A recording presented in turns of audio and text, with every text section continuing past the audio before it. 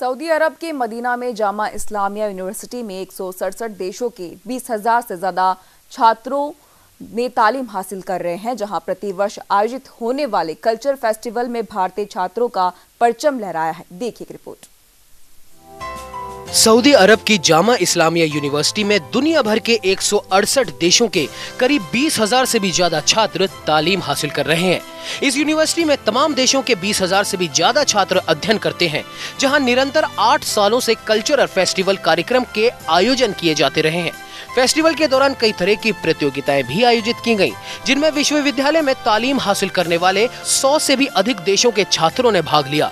इस फेस्टिवल में भारतीय छात्रों ने भी शिरकत की, जिसमें हिंदुस्तान ने तीसरा स्थान हासिल कर दुनिया भर में अपना परचम लहराया। इस वक्त आप Islamic University of Medina Munawwara के अंदर मौजूद हैं, जहाँ 27 फरवरी से 13 मार्च तक एक कल्चर एग्जीबिशन का इनका किया गया, जिसमें 100 कंट्रीज़ ने शिरकत की, जिसमें हिंदुस्तान को तीसरी पोजीशन हासिल हुई। आप सभी हजरात इस बात से वाकिफ़ है ये हमारे हिंदुस्तान के बच्चों की मेहनत का नतीजा था, जिन्होंने हिंदुस्तान की तहजीब, उसकी सकाफ़त, उसके कल्चर और वहाँ मौजूद दावती काम हमारे कराम, जिन्होंने दावती फ़ील्ड के अंदर अपनी मुअल्लफ़ात और अपनी जहूद के ज़रिए से एक अपना निशान छोड़ा है, उसकी पूरी पूरी नुमाइंदगी हिंदुस्तानी तलबा ने इस कल्चर के अंदर की। मदीना शहर में स्थित विश्वविद्यालय में आयोजित 15 दिवसीय कार्यक्रम का आयोजन शेख सामी हुसैनी के नेतृत्व में आयोजित किया गया, जिसमें हिंदुस्तान के छात्रों ने 100 देशों से मुकाबला किया और फतेह हासिल कर अपने देश का नाम रोशन किया। जाम इस्लामिया मदीना मुनवरा दुनिया की एक आलमी यूनिवर्सिटी है। इस यूनिवर्सिटी के अंदर दुनिया के बीस हज़ार बच्चे तालीम हासिल करते हैं और इस यूनिवर्सिटी के अंदर दुनिया के 170 ममालिक के बच्चे पढ़ते हैं। उन 170 ममालिक के अंदर हिंदुस्तान भी है, अल्हम्दुलिल्लाह। जाम इस्लामिया की एक रिवायत यह है कि साल में एक मरतबा वो एक कल्चरल फेस्टिवल कायम करती है, जिसका नाम है महरजान सकाफाती वशरू यानी कि ग्लोबल कल्चरल फेस्टिवल, जिसके अंदर दुनिया के सौ ममालिक ने हिस्सा लिया।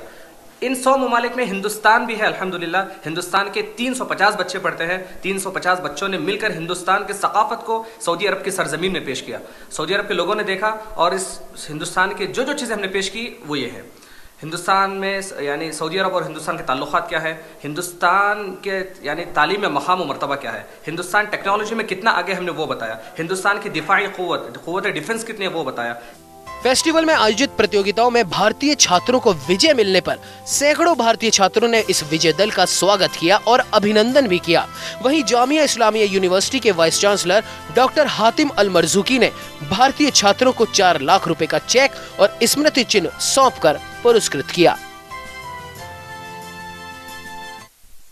और इस खबर पर ज़्यादा जानकारी के लिए हमारे संवाददाता जावेद खान हमसे जुड़ गए हैं। भारत ने अपना नाम रोशन किया है। भारत के कई छात्र वहाँ मौजूद है। कल्चर फेस्टिवल में और चार लाख का इनाम भी उन्होंने हासिल किया है। और क्या कुछ अपडेट है? इसमें मैं बताना चाहूँगा कि है एक विदेशी मुल्क जो सऊदी अरबिया के अंदर जो दुनिया के दूसरे नंबर की यूनिवर्सिटी है, वहाँ पर हमारे हिंदुस्तानी छात्रों ने एक भारत का परचम फहराकर भारत का नाम रोशन किया है।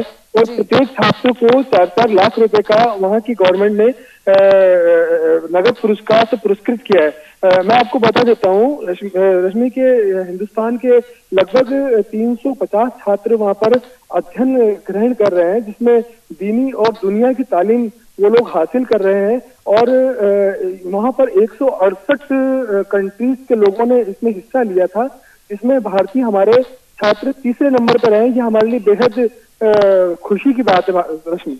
जी, बिल्कुल, हमारे लिए काफ़ी खुशी की बात है कि भारत के ये जो लोग हैं, उन्होंने भारत का नाम रोशन फिर से किया, दिया है, और तमाम जानकारी के लिए आपका धन्यवाद।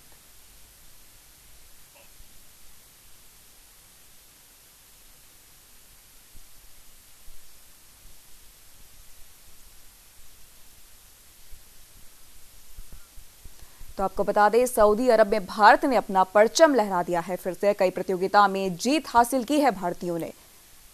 सौ से ज़्यादा देशों के छात्रों को पछाड़ दिया है भारतीयों ने।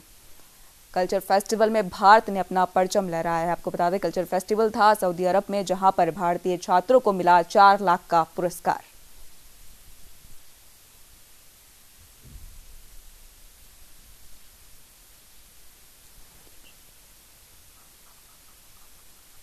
आपको बता दें, खबर सऊदी अरब मदीना से है, जहाँ भारतीय छात्रों को मिला है चार लाख का पुरस्कार।